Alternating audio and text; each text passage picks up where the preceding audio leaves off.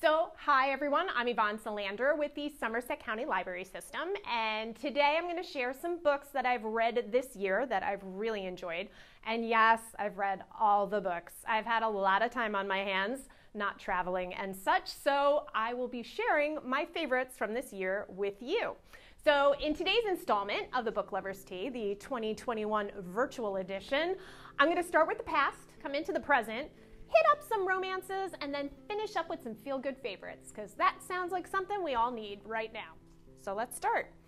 So I'm going to start with Better Luck Next Time by Julia Claiborne Johnson. It's 1938 in Reno, Nevada, where divorce ranches are popular with wives who want to end their failed marriages because after a six week stay, a divorce is done, and these ladies can return home newly single. These wealthy women need to be entertained during their stay, so cowboys are hired, and the hired hands are warned to not get involved with the guests, and Ward never had a problem with that rule. Until he did. The Lost Apothecary by Sarah Penner. Nella has a successful apothecary shop in London in the 18th century. After a horrific betrayal, she constructs a false wall in her shop and changes her focus from healing to hurting helping women eliminate the men that are causing them harm. In the present, Caroline takes her 10 year anniversary trip to London solo after a betrayal by her husband. Joining a group looking for treasures on the tide line of the Thames, she finds a vial with an odd raised symbol in the glass. Could she have found a vial from the lost apothecary? So many books do this dual timeline thing with past and present meeting, but none really do it as well as this one. So, this book makes you really ponder the limited options available to women in the past if they wanted to leave a bad marriage, kind of like this next book. Hour of the Witch by Chris Bohjalian. Mary Deerfield has had enough of her abusive husband. This young woman has endured endless verbal and physical abuse in her marriage, but when her husband stabs her in the back of the hand with a fork, she has decided enough is enough. She's feared for her life. So she files for a divorce. Now, Mary must prove in a court of law that her husband was abusive. But her husband is an upstanding citizen in the community. He just says his wife is clumsy, and she somehow managed to impale herself on the spout of a tea kettle. In the courtroom, it is bewildering to see how much has changed, yet stayed the same, since 1662. The Children's Blizzard by Melanie Benjamin. When children went to school the morning of January 12, 1888, it was unusually mild. Woolen underclothes and heavy winter coats were left on the clotheslines to dry. But that day, as school is letting out, the weather drastically changes and the worst blizzard anyone ever remembers to hit the prairie happens. So, two young school teachers, sisters Raina and Gerda Olsen, until recently school children themselves, are suddenly faced with life and death decisions at their schoolhouses. One sister is hailed as the hero of the prairie, the other is vilified by the community for her actions. The Raft of Stars by Andrew J. Graff. 10 year old Fisher spends his summers with his grandfather and hangs out with Dale Bread Breadwin from down the road. Fish and Bread learn all sorts of skills from Fish's grandfather on the farm, and they talk about all the ways that Bread's dad may have disaster befall him. The night Fish follows a nervous Bread home and sees with his own eyes how horrible Bread's dad is, Fish does what he has to do to protect his friend. He picks up the revolver sitting on the counter just inside the door. Now the two friends are fleeing the manhunt they know is coming for them and going to send them to jail. They enter the vast Wisconsin wilderness with one goal get to the armory and find Fish's dad. But there are big secrets the boys have from one another and that the river and woods hold too. Malibu Rising by Taylor Jenkins Reid. Every year, the Riva siblings throw a party in Malibu to celebrate the end of summer. And over time, it is morphed into the party of the summer. There's no invitations. You just have to know when and where the party is going to be held. And this year, two unexpected guests are making their way to the party. 1983 is shaping up to be the wildest, most epic party yet. Infinite Country by Patricia Engel. Mauro and Elena fall in love in a city torn apart by unrest. Mauro decided that they and their young daughter should go to the US so they can get jobs and send money back to Elena's mom in Bogota, Colombia. Time passes, Elena has a son, and they live in fear since they're now in the US legally. When Elena is pregnant with her third child, Mauro is deported. Unable to provide for her older children and care for an infant, Elena sends the newborn to Bogota to live with her father and grandmother. Split between two countries, this is the story of a family struggling to do what's best for each family member. We Begin at the End by Chris Whitaker. Duchess Day Radley is a foul mouthed, resourceful, tough as nails, self proclaimed outlaw at 13 years old. She does everything she can to hold her small family together, taking care of her little brother and doing her best to give him a secure and safe life, since their mother, Star, is barely functional at the best of times. It all started 30 years ago when Duchess's young aunt was killed in a hit and run, and Star's high school sweetheart, Vincent, was sent to prison for the crime. Now Vincent's out and back in town, and with his return, the fragile balance tips, and the entire town is embroiled in the turmoil. Sometimes good people do bad things for good reasons. Does that make them a bad person? Hi everyone, this is Sean. Sean is a big fan of the library. He's very happy to be talking about books today, especially audiobooks. He's not much of a reader, he's more of a listener. And he loves listening to comedies and thrillers, right? Yes, and anything with sound effects, and obviously anything that has a cat in it everything that we can find at the library. He also likes listening to music, and he's pretty keen on movies. Big action fan, right? Fast and Furious. We love cars. You wouldn't think a cat would love cars? This cat loves cars. Yeah, he's gonna help us talk about books today. He doesn't know about this plan, but uh, he's got this. Right, buddy? You got this. Last Summer at the Golden Hotel by Alyssa Friedland. The Golden Hotel is the last resort standing in the once world-renowned Borscht Belt in the Catskills. When it opened 60 years ago, the wait list for Prime Weeks was a year long, at least. Now, if half the rooms are full for the 4th of July week, it is a minor miracle.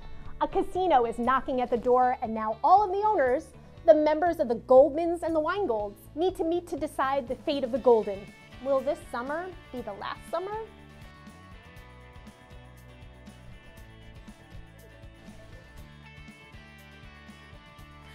The Liar's Dictionary by Eley Williams. To prevent plagiarism by nefarious competitors, dictionaries will insert mount weasels, fake entries, into their text.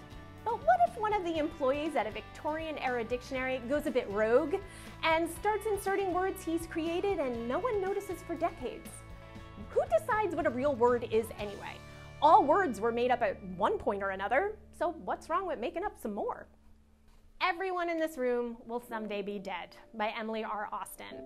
Gilda lost her job at the bookstore because she didn't show up for days. Getting out of bed was an impossibility. She just couldn't do it. Having an inkling she's in need of some help, she heads to a group session advertised on a flyer and stops at the doorway. But when she stops at the doorway, she wonders why is a counseling session being held in a church? Misunderstanding her reason for being there, the kindly priest assumes she's there for the new receptionist job.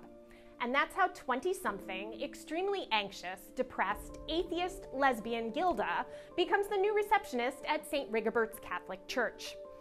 The heart of the book is Gilda's mental health struggles. She's a likable person. Her inner monologues are quirky and identifiable.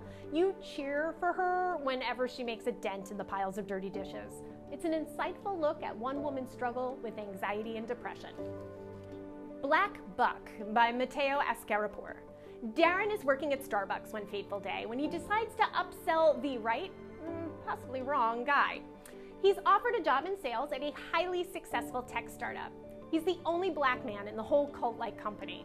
And as his sales skills improve, he gets swept up into a plan to help other people of color break into the sales force in companies across the world. Written like a self help business book, complete with text blocks to point out helpful sales tips, this book gets more absurd and addictive with every turn of the page. Good Neighbors by Sarah Langan. A couple of decades into the future, the record breaking summer heat is blamed for the large sinkhole opening up near Maple Street. When a girl falls in, the community looks for someone to blame. The end result? murder. While this isn't a retelling of the Crucible, the mass hysteria created from the mouths of children are definitely going to bring that classic play to mind.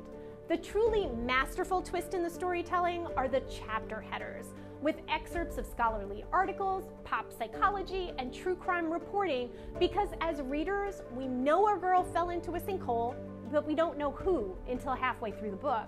And we know there's a murder, but that gruesome crime isn't revealed until the final pages.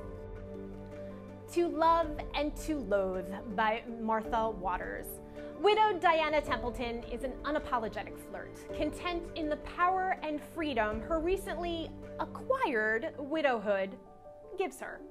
Jeremy, Marquess of Willingham, is a rake, a man who's taken dozens of lovers and is doing his best to avoid matrimony and the responsibilities that come with it. The two have been friends since childhood, their bickering now evolving into biting flirtations they equally enjoy. Jeremy recently received a bad review between the sheets, while Diana's late husband was less than enthusiastic in his attempt to produce an heir. Each feels the other will be a safe liaison, an honest critic, and they are both hoping this interlude at Jeremy's country house will put these infatuations to rest. yeah, right. People We Meet on Vacation by Emily Henry. Poppy and Alex met during a rideshare in college. They are complete opposites. She couldn't wait to leave Ohio. He couldn't wait to get back. He loves his khaki. She loves bold, bright colors. He's a bit of a homebody, and she wants to travel the world. But there's a tradition of that one week a year the summer trip. For over a decade, Poppy and Alex got together one week every summer to explore a place they haven't been. But three years ago, the trip ended in disaster. They haven't spoken in years, and Poppy is desperate to reconnect. While circumstances are conspiring against her, she needs to scrape together the ultimate summer trip to win back her best friend. But can they really be just friends? Hana Khan Carries On by Uzma Jalaluddin. Three Sisters Biryani Poutine is the only halal restaurant in the Golden Crescent neighborhood of Toronto, yet sales are slow. Hana helps out her mom and sister running the restaurant when she can, but radio is her passion. All is chugging along in her life until the signs go up. Another halal restaurant is opening across the street, and their goal is to put her family's restaurant out of business. Choices. That's the core of this book. Yeah, it's a retelling of You've Got Mail, but it's more than a simple romance.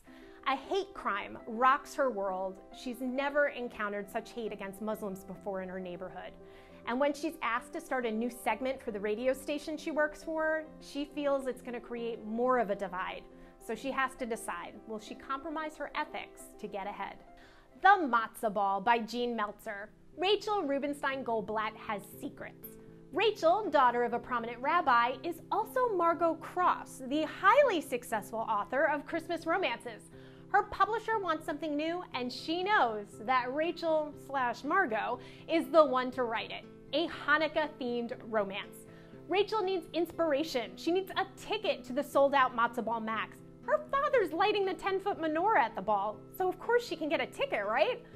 But it's not that easy because Jacob Greenberg, the event organizer, is her arch nemesis and first crush from Jewish summer camp all those decades before. Will Rachel get her story? Will she find romance during the eight nights of Hanukkah? Will her secrets, including her chronic illness, be revealed? Talk Bookish to Me by Kate Bromley. Kara Sullivan is on deadline. Her eighth romance novel is due right after her best friend's wedding, and she hasn't started writing it yet. She just isn't feeling inspired. But at the pre wedding party, she meets the groom's childhood friends, including Ryan Thompson. Ryan, her first love, her college sweetheart, the man she still has feelings for, both warm and fuzzy and cold and prickly. Being forced to be in his presence could work for her, though. She could finally have the inspiration she needs to write this book. But can she use the sparks flying between them to write her novel without getting her heart broken a second time? Before I Saw You by Emily Houghton. Alfie Mack is enjoying himself on the rehab ward. He's made new friends and he enjoys being the life of the party. Well, as much of a party as one can have in hospital recovering from having your leg amputated. One day, a mysterious patient appears in the bed next to him, silent and curtained away from the ward. The woman is a complete mystery and Alfie loves a mystery almost as much as he loves people. After a few days of silence, Alice Gunnersley finally starts to speak. She's burned over half of her body, and she won't allow anyone in the ward to see her until after her next operation. But by then, it's too late. Alfie has fallen in love with a woman he's never seen. And strangely, Alice thinks she might love him too. Dial A for Aunties by Jesse Q. Sutanto. Meddy's blind date was a bit of a disaster. And all right, so that's a major understatement. But it was an accident. Uh, but Meddy freaked out and put his dead body in the trunk of her car. So she confides in her mom, because, you know, who else can you trust? But unfortunately, her mother decides to call all of her sisters. So now you've got four Indo Chinese aunties who all think they know best helping out with the unfortunate situation.